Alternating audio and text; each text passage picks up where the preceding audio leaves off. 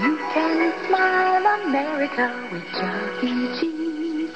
You can get a taste of pizza time theater with Chuck E.